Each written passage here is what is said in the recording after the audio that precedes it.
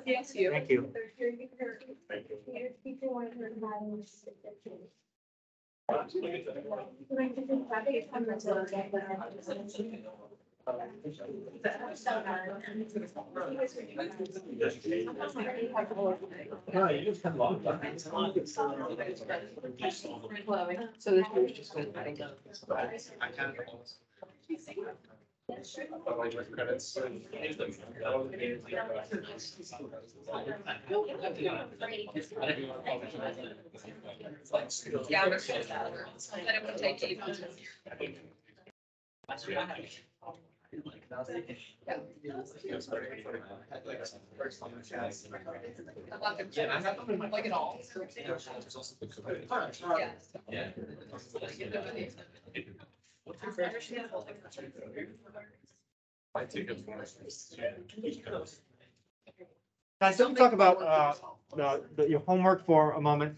Um, sometimes I assign problems that, um, where, or problems that I didn't quite go over in class, so really, I just want you guys to, you know, handle the problems that you can't handle. And if you don't recognize the problem, at least try to attempt it. Uh, the solutions, uh, should be, should be to find the, uh, odd number of problems through CalcChat, and usually I work out the even number problems um, in my, uh, in my link under, on my website for that day. Um, but if we didn't go over that problem and you're struggling with it, just try your best because, um, I, I'll, if it's important, I'll come back and I'll, um, work through those concepts and work through those problems, uh, leading up to the test. Um, but, um, going into the quiz, I'm gonna let you know exactly what's gonna be on the quiz, okay? So we'll do a quiz review. So, um, no surprises, okay? So I'll, you, you'll know exactly what's gonna be on the quiz and you will be practicing what's gonna be on the quiz. Okay, so if you, sometimes if you see some problems that, um, and you're stressed about, that you don't know how to do that problem, you know, try your best. And if it's important, I'll come back and I'll revisit those problems with you, okay? All right, so, um, today we're gonna talk, start talking about algebraic limits. Um, in your homework, you may have seen those algebraic expressions and you're relying completely on the graph which is what I want you to do, right? Because all we know right now is how to find limits using a graph. We don't know how to find limits using the algebraic expression, but today we're gonna learn how, begin, learn how to do that. I hope to, uh, uh, get a little bit into tomorrow's, uh, lesson, which is more algebraic limit. And that way we can, uh, just, uh, have some more time to kind of process those algebraic steps. Uh, hopefully we can start review tomorrow, kind of, and then, uh, Thursday, uh, review and Friday quiz, okay? Uh, okay, so let's, move into today's lesson. If you guys can go to page five.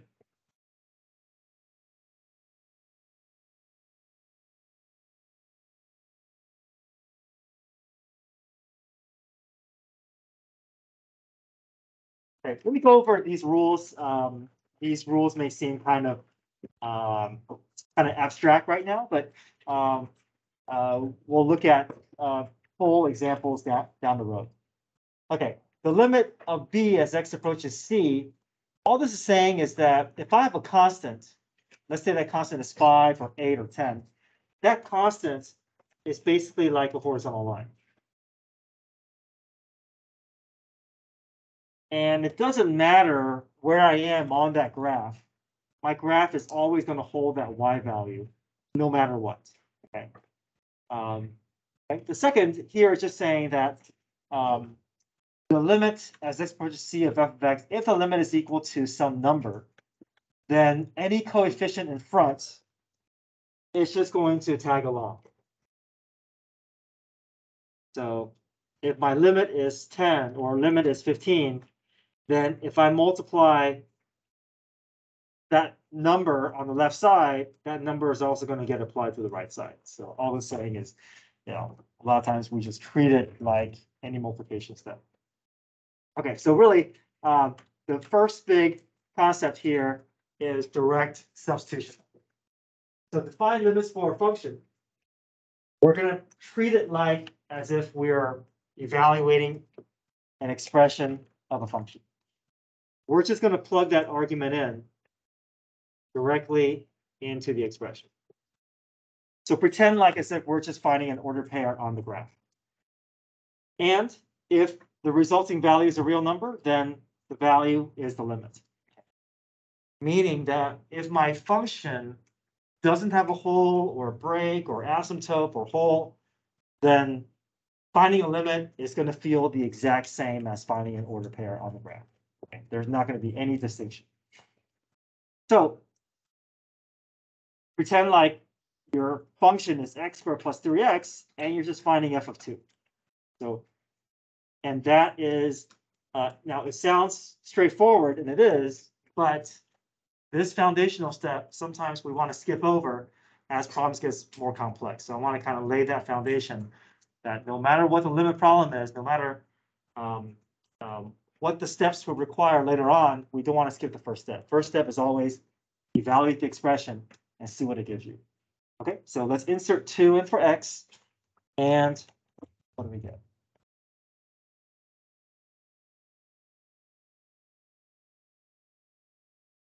Yep. Ten's a real number, so that's my limit. And my order pair is also ten. So we're gonna talk about this next week. If your order pair and your limit all lines up, that means your graph is it's connected through that point. There's no hole, there's no break, there's no asymptote. okay? And if we get a real number, then we stop. There's nothing more to do. That's our answer. All right, part B. Limit as x approaches two of five. Is there a variable for us to plug in? No. So that five is not going to change. That five is going to stay five the whole way through.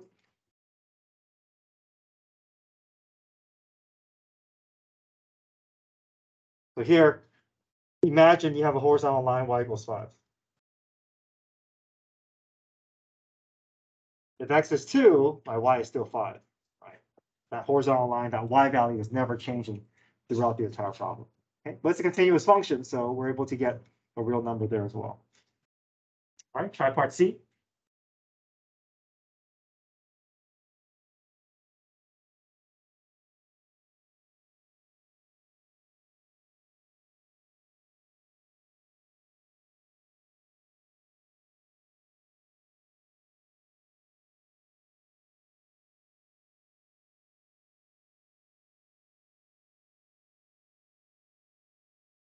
Negative three minus two minus seven plus four. All right, what do we get?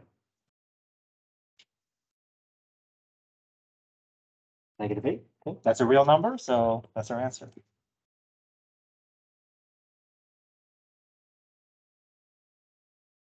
Part D. Insert pi in for x.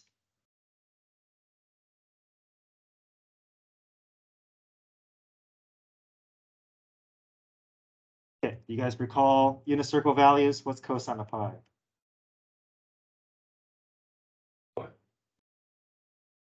What's cosine of, uh, close?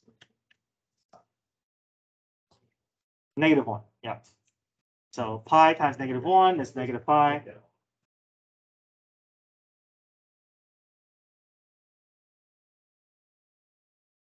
Yeah, eventually we're gonna have to, um, uh, recall unit circle values, but that's gonna be later on the semester. We'll, we'll, um, review that when we need to. Okay, so the first step is plug in the value, right? It doesn't mean that we're always gonna get real numbers. Okay, in fact, we're gonna see some problems where, you know, what if there's a hole? Um, how are we going to get that? How are we gonna get the limit? So that's our next thing, but the, the importance of, of what we saw from A through D is that is our first step? Even if we think that it's not gonna work, we always wanna evaluate the expression because this is the information gathering stage, okay? We, we are, we're trying to do this without the graph, so we have to kind of rely on information that we can get from, uh, from the step. Okay, so, um, not all limits will be as easy as this. It's not just plugging in and finding the value. Um, so what if we have problems that require more steps? And this is the simplify reduction method. okay, Where we factor, we simplify, and we substitute. So um, we're always gonna evaluate the arguments first, just like how we did for A through D. But what if we go, what if we don't get a real number? What if we get something that is in this form? Zero over zero. Now, zero over zero, if we get zero over zero, that means that the point doesn't exist, but the limit does exist, because when you see that zero over zero, what that means is that visually, I want you to picture this, that there is a hole in the graph. And it's gonna look something like this. Maybe, okay? I don't know, okay, not talking about the branch, but I'm just talking about the fact that the hole is going to be um, the only thing that's preventing the graph from being continuous. So what's happening is that if you see zero over zero, you know that visually, the point may not exist, but the limit does, right? Because if we see a graph like this, we know we can pick two points on either side of the graph, and the two arrows are gonna head towards the same destination. But the challenge here is, we're trying to do all this without the use of a graph. So if we see zero over zero, that does not mean that limit does, is undefined. It means that our problem is incomplete and unfinished, and we have a little bit more, we have a ways to go to get to our answer. But we do know that a real number answer is waiting for us. We just have to get there. So how do we get there? We know there's a hole in the graph. We're gonna factor, reduce, and simplify. And the reason that we want to factor and reduce is because we're trying to find in the expression, what is causing that roadblock? What is causing that zero over zero? We're gonna identify those factors, take them out, and then reevaluate. If we do that, algebraically, we're gonna be able to reach the limit that is uh, true for the graph. Okay, so we're gonna factor, reduce, simplify. Then, once we find common factors, we'll cancel that, cancel that out. We'll, uh, we'll get down to the reduced expression. And then we're gonna basically treat it like a new problem. We're gonna reevaluate the limit. We're gonna reinsert the, uh, the x value into the reduced expression. And we should arrive at a real number. We're looking, if we see zero over zero, we know that we're working towards a real number. Um, that is the, that is gonna be the limit for our problem. Okay, so let me show you what that looks like, um, now that we've gone through the, the steps. Okay, limit as x approaches negative two of x squared plus five x plus six all over x plus two. Okay, first things first, we don't want to assume anything. We want to insert the x value into the expression and let's see what we get. Okay, are we getting a real number or are we getting something else? If we're getting something else, we want to be able to know how to interpret it. Okay, so negative two in for all the x's.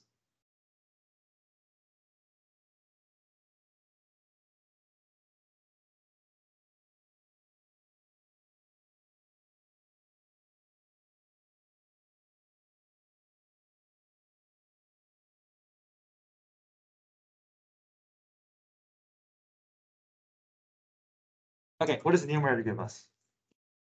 Zero, okay? What does the denominator give us? Zero, okay. So this is visually, we want to understand, we want to understand that this is not saying that the limit doesn't exist.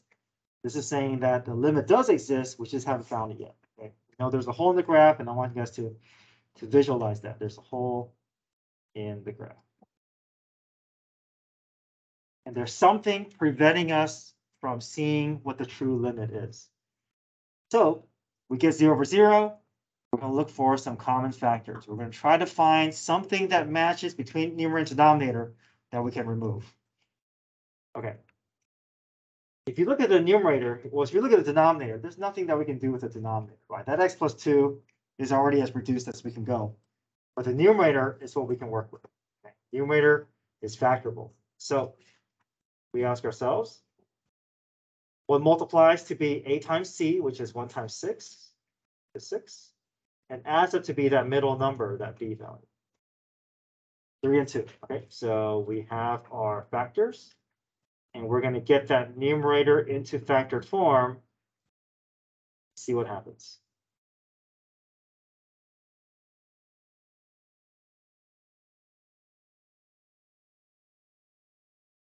All right, do you see matching factors between numerator and denominator? Yes, so this is the cause of the hole. So what we're gonna do is, we're gonna remove the hole. Once we remove the hole, we're able to get to a reduced expression. So basically, this is gonna look exactly like the original graph. And it just has the hole removed. The hole is removed, we can insert and actually find out where the hole was, which is gonna be where the limit is. So once we reduce, we're gonna reevaluate the limit. So now we have a new problem to evaluate. So replace x with negative two, and what do we arrive at? Uh, positive one. Okay. Now, if the graph was in front of us, we could just pick two points, draw two arrows, and figure out that is one. But we're arriving at the same conclusion without the use of a graph and using these uh, algebraic steps. Okay. Any questions? So this is going to be the big picture that we're going to be working on today and tomorrow. The factors are going to, the, the problems are going to be more and more complex, but the big picture is the same. We're trying to find, if we get zero over zero, ultimately, we're trying to find something that we can remove the numerator and denominator. So we can take it, take it out, which will remove that zero over zero. And if we reevaluate, we're always trying to get down to a real number. Okay. Okay, let's look at part B together and see how this is gonna look a little different. All right, first things first. What's the first step always? Plug in. Yeah, plug in the one. Okay. Uh, the, the temptation that we're gonna have is sometimes we look at a problem and we feel like, okay, that's factorable, I'm just gonna go to that step, okay? Don't skip to that second step. Always take the time to plug in because um, it's gonna give us, it's gonna give you a lot of useful information that's gonna help you decide what the second step is, okay? So don't skip that first step. Okay, so insert one in for X.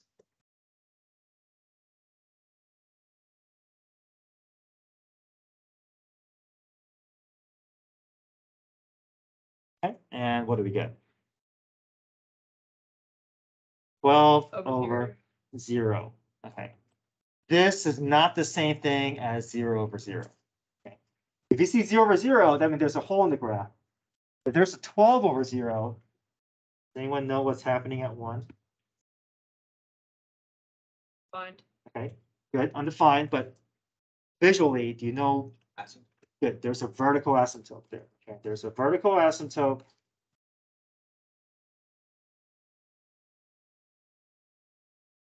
At x equals one. Basically, this is saying that there is a factor in the denominator where the numerator is not able to match and take away. So if there's a factor in the denominator that does not cancel out, that is part of a vertical asymptote. If there's a vertical asymptote, we learned yesterday, that means the limit what? Not exist.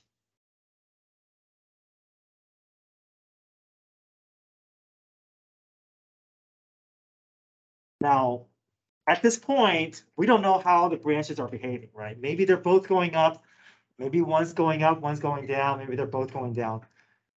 We don't know the behavior of this, um, of the, of the graph around the asymptote. We'll discover that next week, but as of right now, we know there's an asymptote. The graph is headed towards that asymptote. We don't know which direction, but at the very least, we know the limit doesn't exist. So big distinction between zero over zero and over zero, right? Zero over zero means keep going, we haven't reached the end yet. If you get twelve over zero or nine over zero or five over zero, that means go ahead and stop, the limit doesn't exist. Um, okay. We're gonna do a little bit more with this a little bit later, but for now, big picture is the limit doesn't exist. And uh, further details, uh, we're gonna discover next week. All right, next page.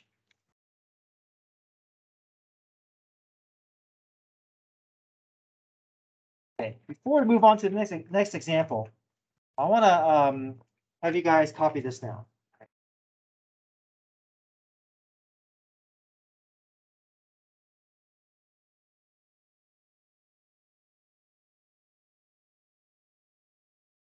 Sometimes uh, zeros can be confusing because when you see zero, it, they don't all mean the same thing. The location of the zeros is really going to tell you something different about what's going on.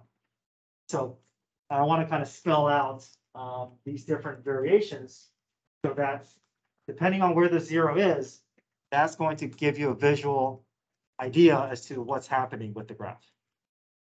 Okay, so first step is, first thing is, if you see zero over zero, you want to have a picture in your mind. There's a hole in the graph, the limit exists, I need to keep working. Okay. There's a real number waiting for me at the end of this problem. If you get twelve over zero, or five over zero, or negative ten over zero, you know there's a vertical asymptote, you know the full limit doesn't exist. Okay. We're gonna expand on that a little further, but the big picture is that you know there's a vertical asymptote and limit doesn't exist. Okay. And finally, if you get a zero over a non-zero, let's say zero over four, or zero over negative two, or zero over three, that's a real number. Okay. That is zero. So they all look kind of similar, right? But they have very different implications on what it means for our graph.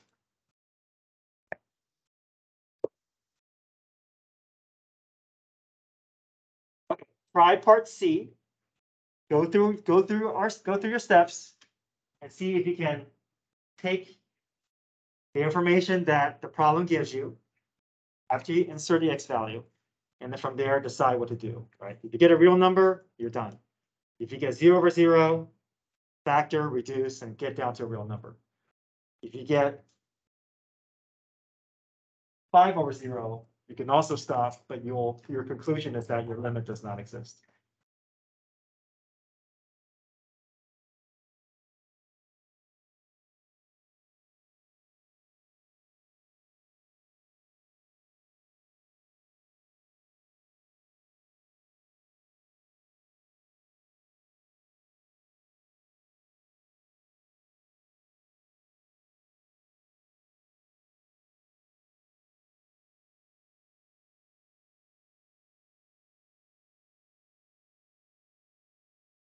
Okay, first things first, even though we may be tempted to want a factor, that's not our first step, right? We're gonna insert that two in. And what do we get? Yep, that's a real number, right? Nothing more to do. That's our limit. That's our answer. Part D?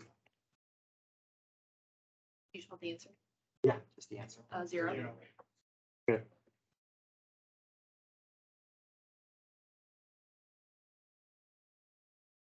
Right, we don't wanna try to jump, you know, even though, even though this looks like you can factor and go through those steps. We don't wanna skip that first step, right? Let's see what's going on, right? It's already a real number, so we stop and we say that's our answer. Zero over four is a real number, is zero. All right, let's look at the, uh, go ahead and try those practice problems. And I'll show the answers if you guys have, a- have a chance to try each of these.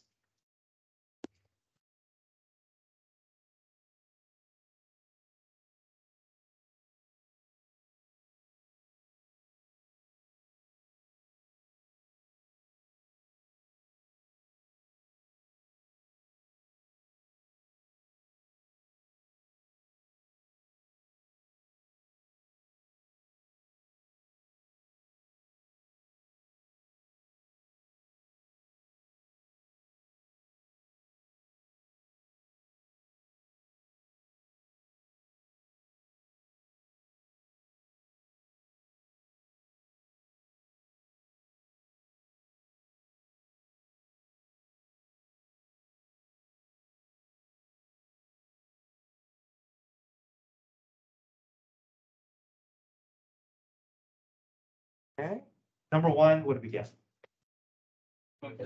Does not exist, good, right, negative two over zero. We know there's a vertical asymptote, limit doesn't exist. Dig deeper into this next week, but. We know, we know the big picture, we know what's, we know that at least the limit doesn't exist. We don't know how the branches are behaving around that asymptote, but. We know the big picture, okay? Number two. Yeah, it's a real number, right? Even though you may be looking at that numerator thinking, oh, maybe I can factor that. But let's not get to that point until, until there's something that's telling us to, to go further, right? We're not gonna worry about factoring unless we see a zero over zero, right? There's no need to do additional work if the problem doesn't tell us to do it. So thirteen's a real number, we stop, and that's our answer.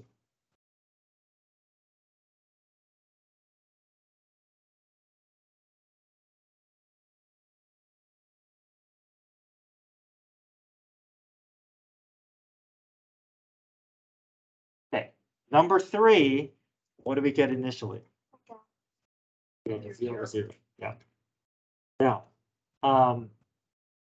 I wanna see that work, okay? I wanna see that you're plugging in the X value and showing me that you are checking for a hole before you move on and do the factoring, okay? So on the test or quiz, I'm looking for you to show me that you're taking that first step before you do anything else. Now, zero over zero means, okay, that means that there's a common factor I need to find so I can remove it. There's a difference of squares in the numerator. If I have a squared minus b squared, I can break that down into a minus b times a plus b. So x squared is a perfect square. One is a perfect square. We can break them into their factored forms.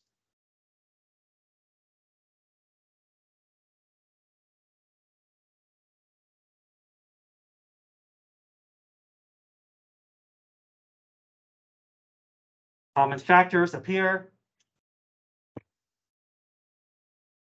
Remove it. What's the final step? Good. So make sure that we don't just stop here, right? We don't want to just say x minus one is the answer. We're looking for a number. So make sure that you're taking that final step, evaluating that reduced expression and getting it down to a real number.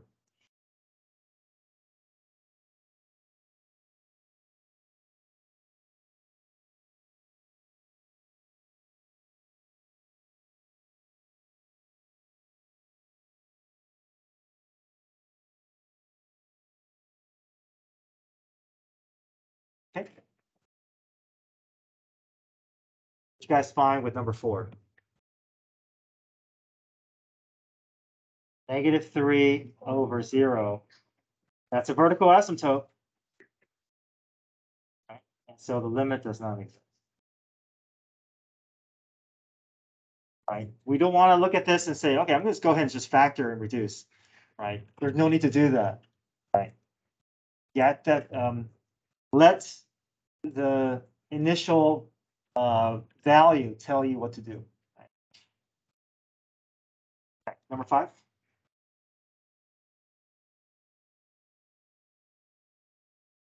Zero, zero first. yeah, zero over zero. Okay, good. So we know what we're dealing with, right? There's a hole. We're gonna find common factors. We're gonna reduce, reevaluate. We should be able to get down to a real number.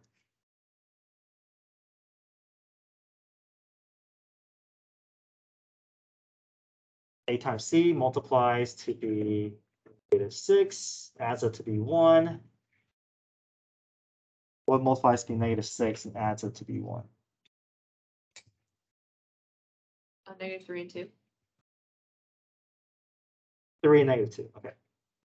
So we want that three to be a a larger positive value, so we can get down to that positive one, okay? So uh, numerator is factored.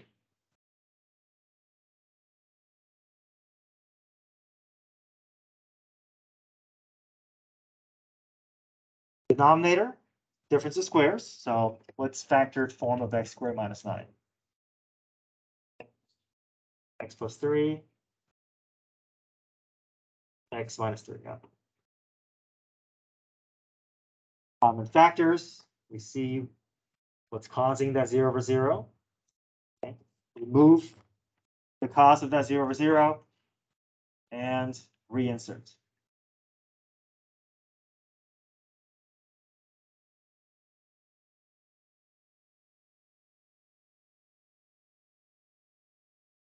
5 sixths is a real number. That's our limit.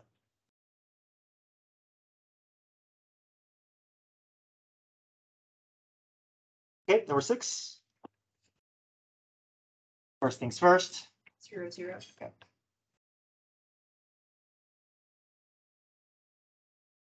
Know there's a hole, We know there's a answer waiting for us, right? We don't want to ever stop here and say the limit doesn't exist, right? That's not true. The point doesn't exist but the limit does exist. We have to work around that hole.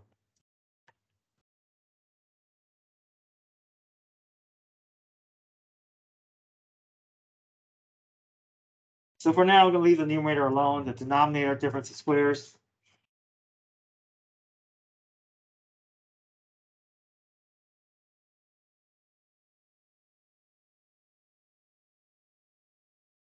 So I'm looking for common factors. I think I can do something with that five minus x and x minus five, but they're not lined up perfectly. Um, is there anything that I can do to make them match better? Good, so five minus x and x minus five, they're almost the same factors, they're just off by by a factor of negative one. So if I just take out a factor of negative one from the numerator, I can just change the sign of five minus x and make it negative five plus x.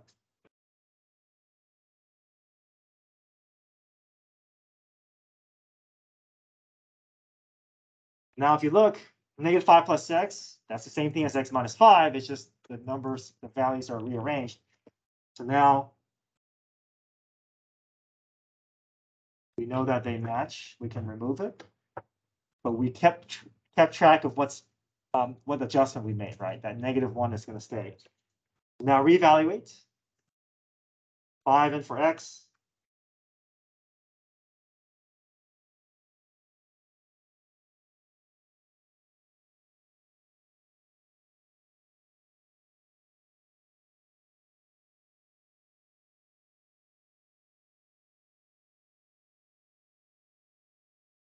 Uh, yes, but we're gonna practice, um.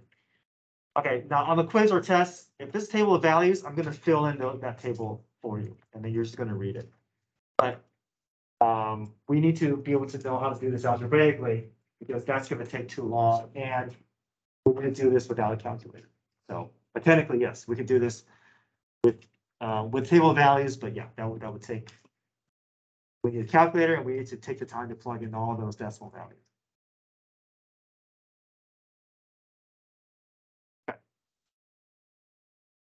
Any questions here? All right, I want to give a, a, a- preview into tomorrow.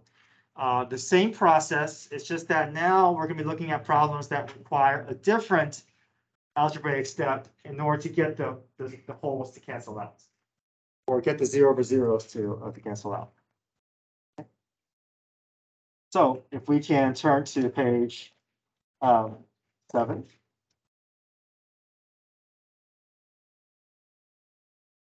Anybody still need to look at this?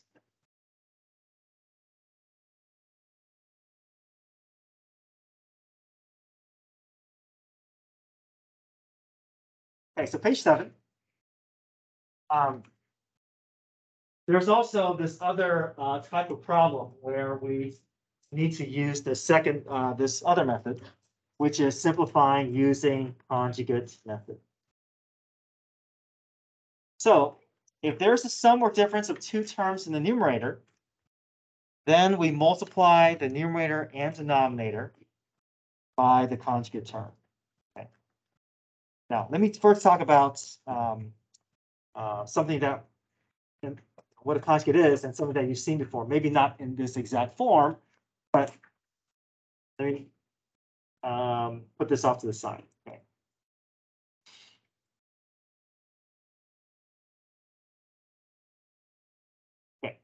Let's say I have three over two plus root x. So I want to just connect some with something that maybe you've seen before.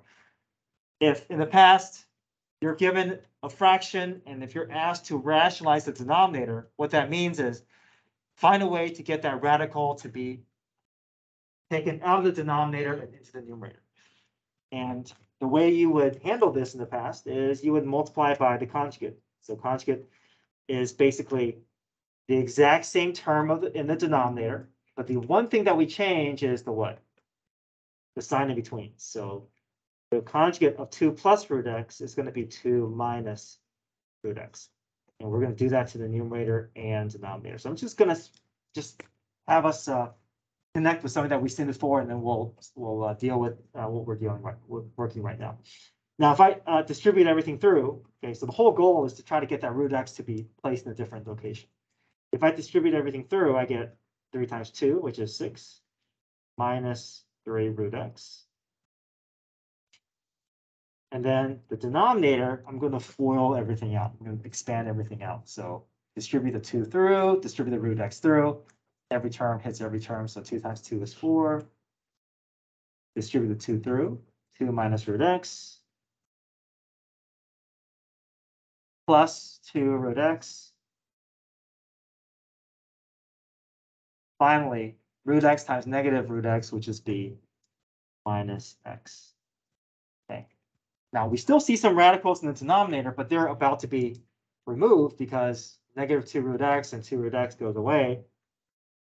So this does the job of transferring that radical to the numerator.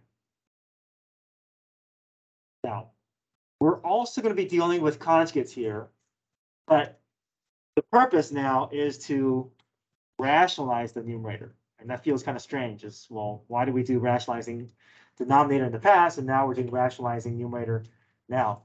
So the reason why is because um, uh, we're trying to find a way to get the numerators and denominators to match, especially if we know that there's a hole in the graph.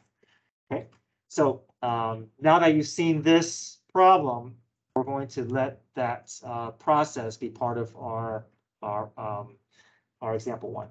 Okay, so we see a problem here. There's a radical, but we're not going to skip the first step, right? First step for any limit problem is what? Plug in, right? Let's see what we're dealing with first. Okay, so let's insert four in for x. And let's gather some information to begin with.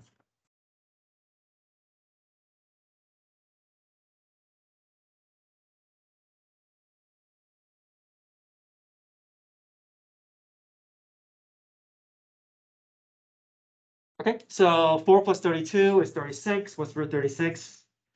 Six, okay, six minus six is Zero. zero, and four minus four is zero. Okay, good. So just like what we saw before, we know that uh, our problem is incomplete. This is not that the limit doesn't exist. The limit does exist. We're just trying to find common factors that we can remove and reevaluate. So we're trying to get one of the numerator and denominator to match up, okay? And if you look, at the denominator, we can't do anything here, right? X minus four is as simplified as we can get. Um, we're gonna have to play with this numerator here. Okay, and the goal is, and but looking at this denominator is also helpful because the only thing down here is x minus four. So we know that this x minus four must play a role in the cos of that zero over zero. So you see an x minus four here. Basically, what we want is we want an x minus four to show up above to get that to cancel out because we know that's what's happening, right? we we know that there must be an x minus four above, but we're not able to see it right now. So the way that we can get that radical to show up in a different way is by rationalizing it. So the whole purpose of rationalizing is not to try to get that radical to come to the bottom, is so that the numerator will show up as something that matches with what we're trying to match with the denominator. So we're gonna multiply by the conjugate. What's the conjugate of that six minus root x plus thirty-two, you think? Good. We change the sign inside here? No, just what's between, right? We only change the sign between the two terms. The second term, we're gonna leave that alone. So we're just gonna make this six plus root x plus thirty-two. Now, anything you do to the, to one side, you gotta do to the other side. Don't, so don't make any change in signs here. Okay, your numerator and denominator should match exactly.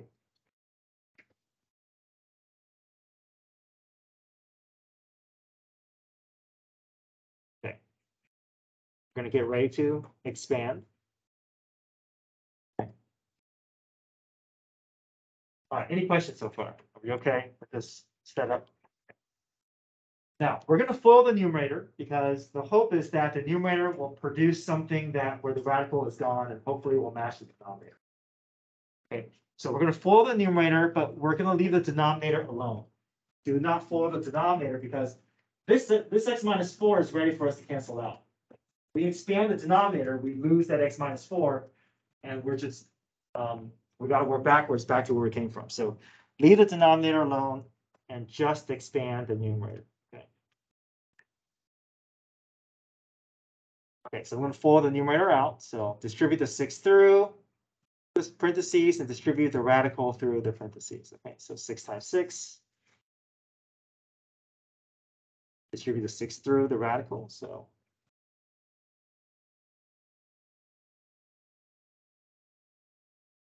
Now I'm gonna work with the second radical, so distribute the negative radical through the parentheses.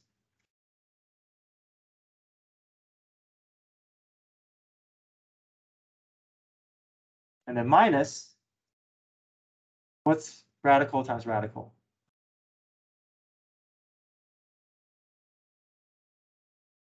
Just what? Good, so the radical times radical with the same terms below is just gonna remove the radical. So minus.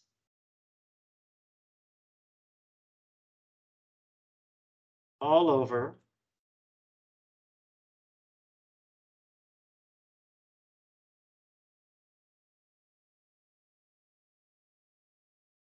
Leave the denominator alone. Okay, now I purposely left something out of the numerator that is, that needs to be there. It's subtle, it's kind of hard to see, but I wanted us to look for what I did wrong above. Good. There needs to be a parentheses here. The reason being, negative times positive is negative, that negative needs to affect everything that comes after. Now that the radical is gone, that negative is gonna end up distributing through, so it's a very hard, you know, it's easy to, to, uh, um, to miss that. So I want us to take the time to recognize that anything that comes after a minus, especially there's multiple terms, I gotta take care of it right then and there, or remind myself with a set of parentheses. Okay, good so far? Alright, so our goal is hopefully the radical all goes away, and it should because the two middle terms should just cancel out, right? Got a positive six uh root x plus thirty-two and a negative six x plus root thirty-two, so that goes away cleanly. I can distribute the negative through and begin combining like terms while um leaving the denominator alone. I don't want to try to expand that denominator. It's already in the form that, that I need it to be in.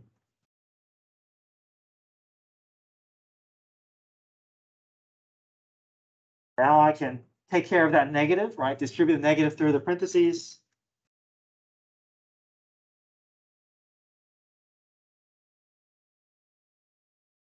All right, what does the numerator reduce to be? Zero. Quite.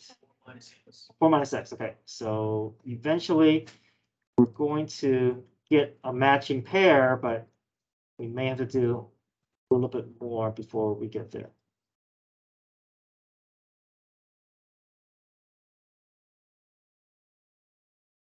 Okay, before we go any further, let's just let everyone catch up and make sure that you're good with every step that we've taken so far.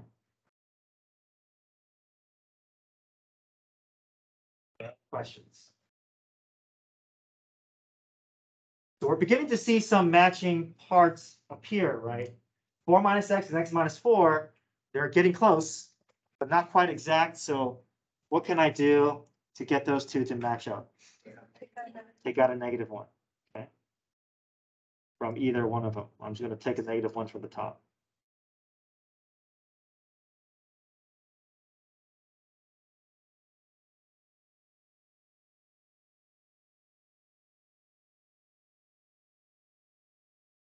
Negative four plus x and x minus four, that's a matching pair. And we knew that this was gonna happen because that zero over zero, we knew that we're trying to find that matching pair. We knew that it was gonna show up. We just needed the appropriate steps to be able to get to that point. Okay, so now that the zero over zero, the hole has been removed, what's our final step? Plug in, right? We can't stop here, right? We're trying to get to a number. We still need that number, that limit that we're looking for, okay? So there's still a negative one sitting above. Four plus thirty-two is root thirty-six. What's root thirty-six? Okay, six plus six, well.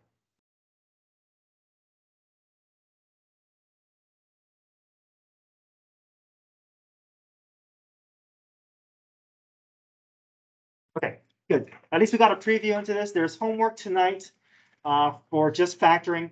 But this is for tomorrow, but at least we got a little bit of it. Come up and get your phones. We'll finish it tomorrow and we can probably even start on Quizlet.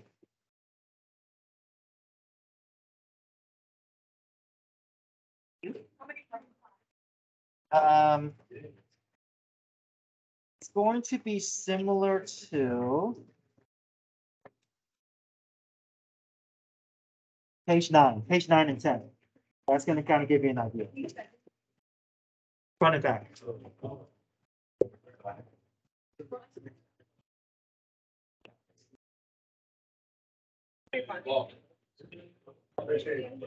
Yeah, you too, right?